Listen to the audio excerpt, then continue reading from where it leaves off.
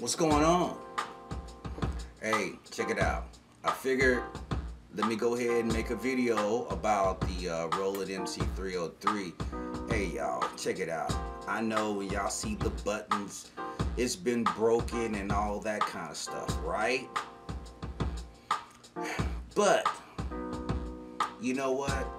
Once again, now I could get a brand new one, but you might as well use what you got, right?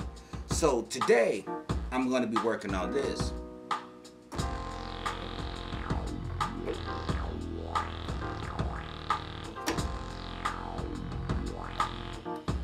So, I'm gonna be working with, messing around with it and just showing you how you can just take, it's a regular keyboard, MIDI it in with this,